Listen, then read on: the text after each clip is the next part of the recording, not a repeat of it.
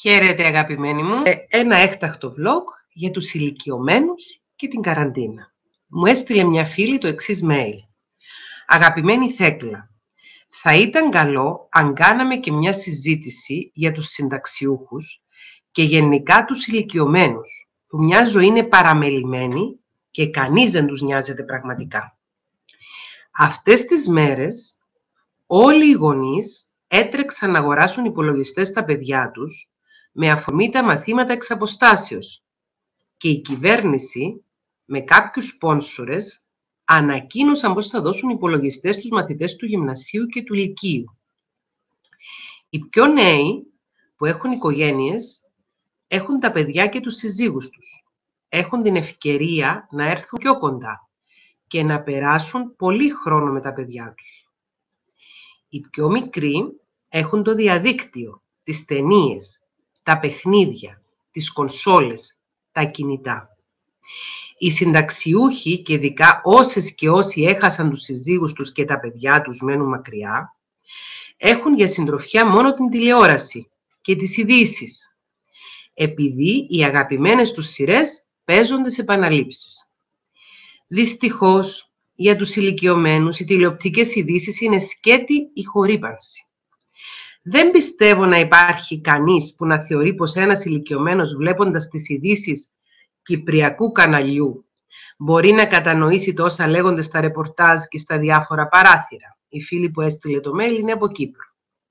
Η κυβέρνηση θα έπρεπε να προτρέψει τα παιδιά να δώσουν ή να αγοράσουν τάμπλετ στους συνταξιούχους γονείς τους.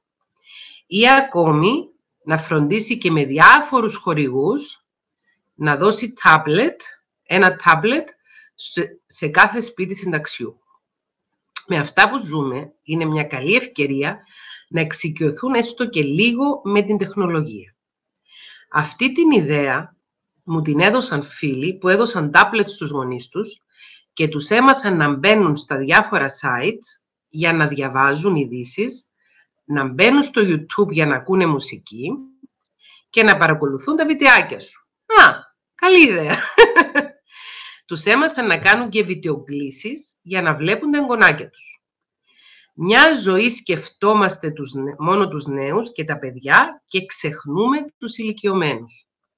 Υπάρχουν ηλικιωμένοι που μένουν μόνοι τους, που πριν ξεσπάσει η πανδημία, είχαν τα εγγονάκια τους κάθε μεσημέρι μέχρι να σχολάσουν τα παιδιά τους από τη δουλειά και τώρα δεν μπορούν να τα δουν. Βλέπουν μόνο τα παιδιά τους δύο φορές την εβδομάδα όταν έρχονται να τους φέρουν τα ψώνια ή τα πράγματα που χρειάζονται. Πιστεύω πως η λύση του τάμπλετ είναι ιδανικότερη για αυτά τα πρόσωπα και θα τους κάνει καλό, επειδή θα παιδεύουν το μυαλό τους, κάτι που βοηθάει ειδικά την απώλεια μνήμης, που λίγο πολύ όλοι έχουν στις προχωρημένες ηλικίες. Επίσης, θα μπορούν να βλέπουν και τα βιντεάκια σου, επειδή γενικά είσαι αγαπητοί και σε παρακολουθούσαν όταν είχες εκπομπή στην τηλεόραση. Ας μη σπονσάρουμε μόνο τα παιδιά, ας δούμε και λίγο τους ηλικιωμένους. Αυτό το mail το έχω λάβει πριν δύο-τρεις μέρες από μια Κύπρια φίλη, η οποία λέει ξεκάθαρα ότι θεωρεί πως ως κοινωνία φροντίζουμε τους νέους, φροντίζουμε τα παιδιά και παραμελούμε τους ηλικιωμένους. Η αλήθεια είναι ότι οι άνθρωποι που είναι συνταξιούχοι, που κανονικά στη σύνταξη κάποιος βγαίνει από τα 63 και μετά, ή από τα 65 και μετά, όπως είναι τώρα η νομοθεσία στην Κύπρο, ε, η αλήθεια είναι ότι πολλοί από αυτούς έχουν σχέση με την τεχνολογία, ειδικά εάν η εργασία τους προτού συνταξιοδοτηθούν είχε άμεση σχέση με την τεχνολογία. Υπάρχει όμως μια μερίδα του πληθυσμού των συνταξιούχων, οι οποίοι δεν έχουν εξοικειωθεί με την τεχνολογία ακόμη. Αυτοί οι άνθρωποι λοιπόν, όπως γράφει και η φίλη στο mail, ε, έχουν μόνο την τηλεόραση για να ενημερώνονται και να ψυχαγωγούνται. Η τηλεόραση αυτές τις μέρες παίζει επαναλήψεις από τις σειρές, γιατί για τους λόγους προστασίας από την πανδημία έχουν σταματήσει τα γυρίσματα. Έχει ελάχιστες ενημερωτικές εκπομπές. Επειδή δεν βλέπω τηλεόραση, εγώ δεν μπορώ να γνωρίζω. Ξέρω σίγουρα ότι παίζει στο Σίγμα το πρωτοσέλιδο η εκπομπή του Ανδρέα του Δημητρόπουλου, που φιλοξενούμουν παλιά κάθε Πέμπτη και που φαίνεται τώρα θα αρχίσω κάθε Πέμπτη με στο Skype να είμαι εκεί στον Ανδρέα.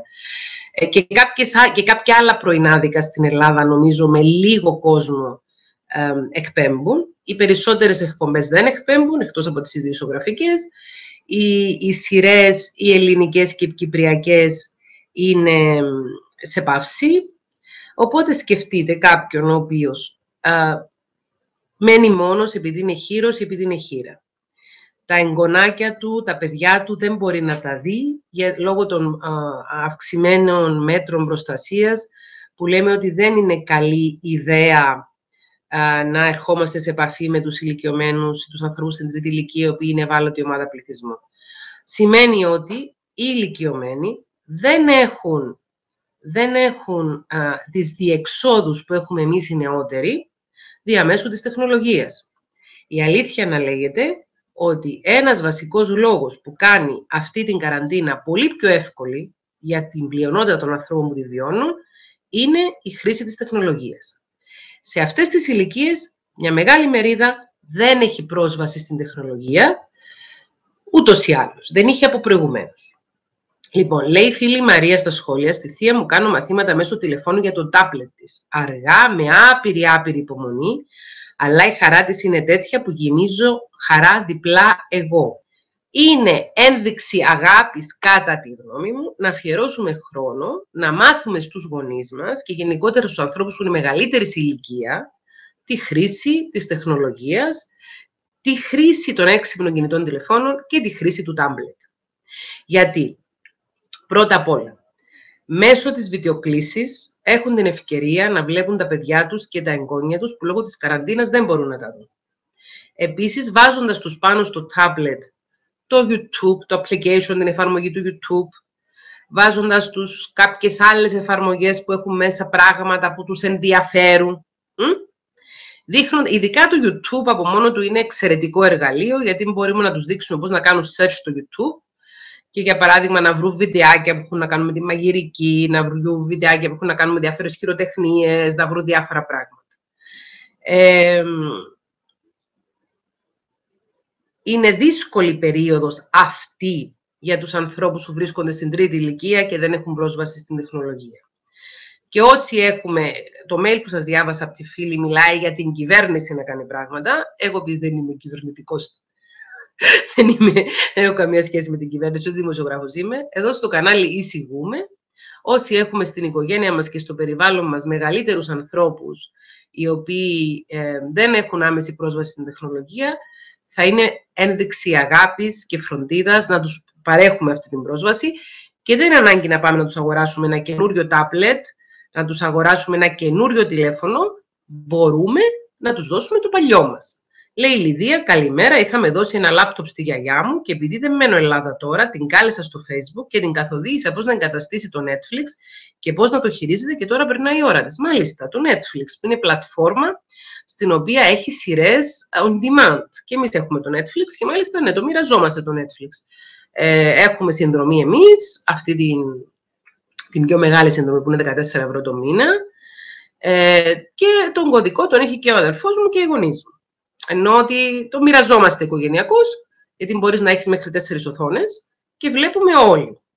Ε, και το Facebook είναι εξαιρετικό εργαλείο για τους ανθρώπους σε μεγαλύτερη ηλικία, αλλά χρειάζεται, εκπαιδεύοντας τη γιαγιά, λέει η Δέσποινα, χρειάζεται να, να είμαστε εκεί για να απαντήσουμε τις ερωτήσεις τους και να τους προστατεύσουμε από τυχόν κινδύνους του διαδικτύου. Λέει η Ελένη, εγώ θέκλα μου δυστυχώς δεν τα πάω καλά με την τεχνολογία και όταν ζητάω βοήθεια από τα παιδιά με εξαφανίζονται, σαν να ανοίγει η γη και να τα καταπίνει. Και τα δικά μου παιδιά τέτοια είναι. Μην νομίζεις, μήπως είναι έφηβα και σένα τα παιδιά σου. Είναι γύρω στα 20 και σένα τα παιδιά σου, δεν ξέρω. Ε, ελπίζω αυτό το βίντεο να ευαισθητοποιήσει κάποιους ούτως ώστε να σκεφτούν ρε η μάνα μου, ρε ο πατέρας μου, ρε ο παππούς μου, ρε η γιαγιά μου, η θιά μου, που είναι σε μια ηλικία άνω των 60, άνω των 70 και είναι μόνοι και κάνουν καραντίνα. Μήπως χρειάζεται, μήπως είναι καλή ιδέα να τους δώσουμε ένα παράθυρο προς την τεχνολογία, το οποίο όπως γράφεται εδώ πολύ ορθά, αυτό είναι ε, σημαντικό για, σε, όλες τους, σε όλες τις περιόδους. Πώς, πού το έχετε βρει, ναι. Κάποιος έχει γράψει εδώ πέρα ότι είναι σημαντικό και για περίοδους που δεν υπάρχει καραντίνα, οι άνθρωποι η μεγαλύτερη ηλικία να έχουν πρόσβαση στην τεχνολογία. σκεφτείτε μόνο αυτή την πρόσβαση που έχουμε εμείς εδώ στο κανάλι, που βρισκόμαστε, αυτό τώρα σας έχω καλομάθει στην καραντίνα με τα live, βρισκόμαστε είτε στο live παρακολουθώντας, είτε τα βίντεο που παρακολουθούμε καθημερινά, που κάνουμε τη συζήτηση από κάτω, πόσο γεμίζει την ώρα μας και πόσο νομίζω ότι μπορεί να είναι και ψυχοφέλιμο και ψυχοεκπαιδευτικό. Σκεφτείτε να δώσουμε την ευχαίρεια και την ευκαιρία και σε άλλους ανθρώπους να μπορούν να έχουν παρόμοιες εμπειρίες. Όχι απαραίτητα για το δικό μας το κανάλι. Δεν κάνω αυτό το βίντεο για να πω δώστε στη γιαγιά σας, δώστε στον παππού σας, δώστε στη μάνα σας, στον πατέρα σας ένα τάπλετ να κάνω subscribe στο κανάλι που να έχουν περισσότερους συνδρομητές. Καμία σχέση. Α, αυτό που γράφει η φίλη στο mail το οποίο έχω διαβάσει είναι ότι ε, τον 1,5 χρόνο, τους 18 μήνες τις δύο τηλεοπτικές σεζόν που είχα την τηλεοπτική εκπομπή, θα μιλάμε ανοιχτά την καθημερινή στο σταθμό Σίγμα στην Κύπρο, πολλοί άνθρωποι οι οποίοι βρίσκονται σε, στην ηλικία αυτή για την οποία μιλούμε, έβλεπαν καθημερινά την εκπομπή και όταν τελείωσε η εκπομπή και αποφάσισα, μάλλον όταν αποφάσισα εγώ να μην συνεχίσω την εκπομπή, πολύ συχνά προ, προ γιατί τώρα δεν κυκλοφορούμε, κυκλοφορούσα στον δρόμο και έβρισκα ανθρώπου που μου λέγανε Μα πού είσαι τώρα, γιατί έφυγες, γιατί σταμάτησες, είχαμε κάτι να βλέπουμε. Και τους λέω Είμαι στο YouTube. Και μου λένε Τι είναι το YouTube; Τους λέω Το YouTube είναι κάτι, είναι ένα, ένας χώρος διαδικτυακός, στον οποίο μπορείτε να μπείτε και να δείτε τα βίντεο. Μα πώς θα μπω στο YouTube; Έχεις τάπλετ, όχι δεν έχω τάπλετ. Μπορείς να αγοράσεις ένα τάπλετ και να ζητήσεις να σου κάνουν install πάνω στο τάπλετ σου που ήδη υπάρχουν σε όλα τα τάπλετ ε, κατεβασμένες οι εφαρμογές του YouTube, να σου κάνουν install την εφαρμογή του YouTube, να ζητήσεις από εκεί που θα πας να το αγοράσεις, να σου φτιάξουν και ένα λογαριασμό για να μπορείς να μπαίνεις, να σχολιάζεις κλπ. Και μένουν και με κοιτάζουν πολλοί άνθρωποι απορριμμένοι και αυτοί οι άνθρωποι σίγουρα έχουν παιδιά και σίγουρα έχουν εγγόνια, τα οποία θα μπορούσαν και να τους δώσουν το παλιό τους το λάπτοπ που δεν το χρειάζονται. Εμείς, όπως πήραμε το λάπτοπ του Λάζαρου που το άφησε, ε, το έκανα format και το φτιάξα για τον μπαμπά μου για να το χρησιμοποιεί. Όχι ότι δεν είχε, είχε υπολογιστή σταθερό, είπαμε, είχε iPad, αλλά δεν είχε λάπτοπ.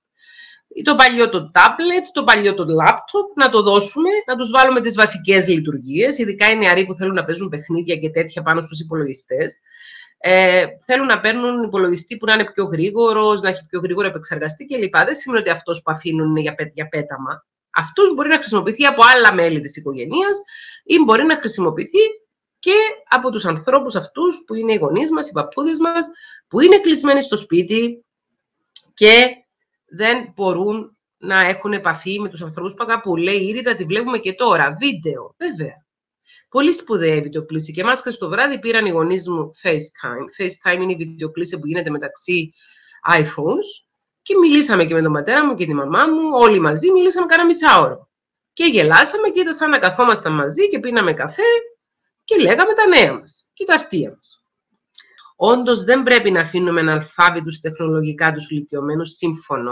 Ε, μπορούμε να μάθουμε τους γονείς μας, μπορούμε να μάθουμε τους παππούδες μας την τεχνολογία και θα του κάνουμε πάρα πολύ καλό για να, γιατί θα έχουν πρόσβαση σε διαδικτυακές κοινότητες που αυτή η διαδικτυακή κοινοτική επαφή είναι αυτή που μας κρατάει, μας κρατάει καλά ψυχικά αυτές τις μέρες. Φιλιά!